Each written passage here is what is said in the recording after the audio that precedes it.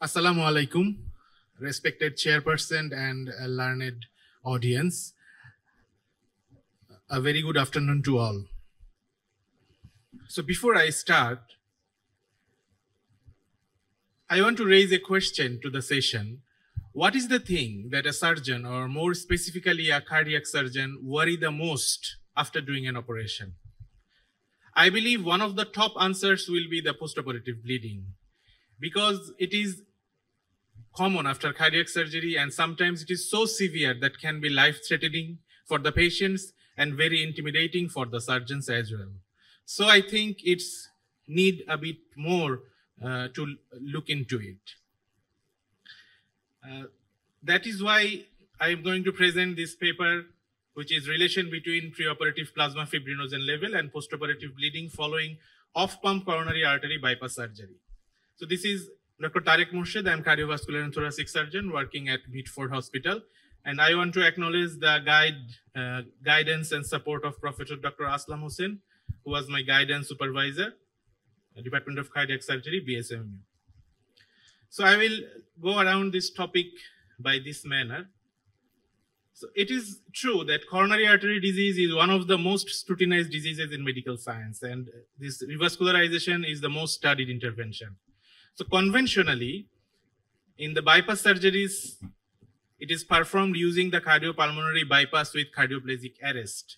But in terms of off-pump coronary artery bypass, the grafts are placed on the coronary arteries of a beating heart using the intracoronary shunts, thereby avoiding the aortic cross-clamping and CPB. So it has some benefits like early extubation, reduced preoperative blood transfusion, and hospital stay. However, it is still accompanied with the risk of complications such as bleeding, infection, stroke, MI with heart failure, renal insufficiency, and pulmonary dysfunction. And this bleeding may be caused by surgical factors or disturbed hemostasis, or maybe combination of the both. Here comes the role of fibrinogen. We all know it is a key protein in hemostasis synthesized by the liver, and it is also known as clotting factor 1. And its normal level in plasma is 2 to 4.5 gram per liter. So an increasing number of studies indicate that fibrinogen plays a more important role to achieve adequate hemostasis. And clinical studies have already reported that there is an inverse correlation between pre-op plasma fibrinogen level and post-op bleeding after conventional CABG. But in our country, most of the cases are done in off-pump manner. So the relationship between these two is less in investigated in this arena. So the concept of pre-op identification of the patients with increased risk and to curtail the amount of blood products is interesting because it offers the possibility to initiate countermeasures which can eventually reduce the stress, time, and financial burden. So we tried to look upon whether low pre-op plasma fibrinogen level is associated with increased post-op bleeding following op-CAB or not.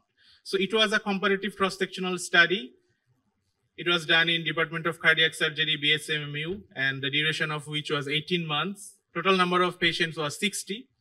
And purposive sampling, sampling method was applied to this study because we set a cutoff value of pre-op plasma fibrinogen level was 3.1 gram per liter.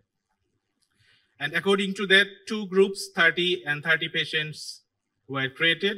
And uh, the patients with some conditions were excluded from this study like the patients having known bleeding disorder, patients receiving heparin, hepatic and renal impairment, congestive cardiac failure, patients needing valve surgery along with CABG, needing conversion to on-pump CABG, or patients operated on emergency basis or redo surgery. Ethical clearance also done according to the protocol of the institution. Actually, this is this was the study flowchart. And on the basis of literature review and our experience, we selected some variables to be studied we will go into brief in the result section. So if we say, if we compare the demographic and anthropometric variables in this study, between among age, sex, and BMI, only the age distribution was found significantly different, statistically significantly different in between the two groups. The comparison of preoperative risk variables like shortness of breath, chest pain, hypertension, diabetes, and COPD there was none found to be significant. and the comparison of preoperative biochemical, hematological, and echocardiographic variables like CRP, serum albumin, creatinine, serum calcium, ejection fraction, hemoglobin, prothrombin time, and activated partial thromboplastin time were not significant as well. However, platelet count was significantly lower in group B. And uh, we studied some paraoperative variables like activated clotting time after the heparinization, after neutralization, duration of surgery, and number of the grafts. These were also not statistically significant. Now comes the main part. If we see the blood loss in the first 12 hours, first 24 hours, and the total drain collection, all these were significantly more in the group B. And if we talk about some more postoperative variables, postoperative blood transfusion also was increased in the group B and duration of the ICU stay was longer. However, the duration of the hospital stay, we did not see any statistically significant difference between the two groups.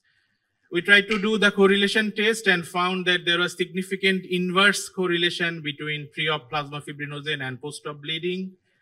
And as platelet and age was found significant, we tried to do the multivariate logistic regression analysis where also pre-op plasma fibrinogen level was found to be the most valuable predictor.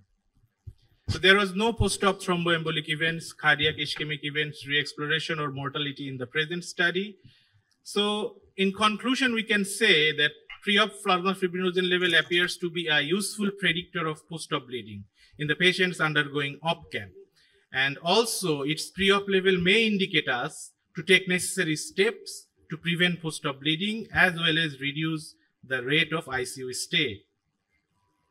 So I want to talk about some limitations because it was done um, in a small population of the patients and the study time was short and also it was done in a single center of the Bangladesh. That's why keeping all those in mind, a larger prospective studies may be needed and pre-op estimation of plasma fibrinogen should be done routinely and uh, it can be it should be corrected before surgery to reduce post-op bleeding. So i want to conclude one of my favorite quotes of the renowned professor of surgery professor moses Schein. the most important clotting factor is the surgeon. So not only achieving the adequate hemostasis in the theater but also to identify anticipate and initiate countermeasures as early as possible to reduce the post-operative bleeding. So thank you all